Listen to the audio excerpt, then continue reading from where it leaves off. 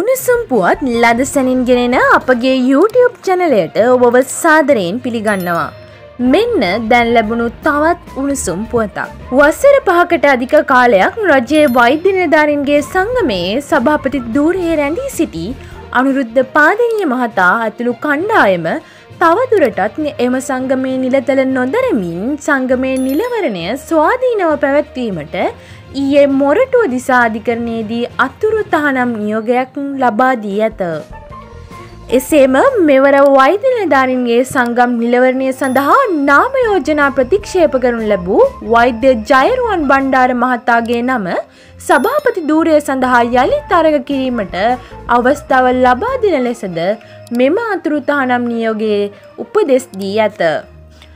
අතුරු පාලක මණ්ඩලයක් කරහා ස්වාධීන මැතිවරණ නිරීක්ෂණ කණ්ඩායමක් වෛද්‍ය නිලධාරීන්ගේ සංගම් මැතිවරණය පවත්වන ලෙසත් යෝජනා කැඳවන ලෙසත් දැනටම ක්‍රියාත්මක වන වෛද්‍ය සංගමේ ක්‍රියාකාරිත්වය අහෝසි වන බවත් මේ සමග නිකුත්කට ඇති නියෝගයේ සඳහන්ය.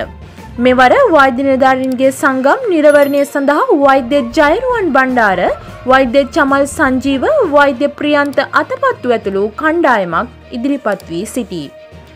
මෙවැනි උණුසුම් පුවත් ලද සැනින් දැනගැනීම සඳහා අපගේ YouTube චැනලය සබස්ක්‍රයිබ් කර බෙල් අයිකනය ක්‍රියාත්මක කරන්න.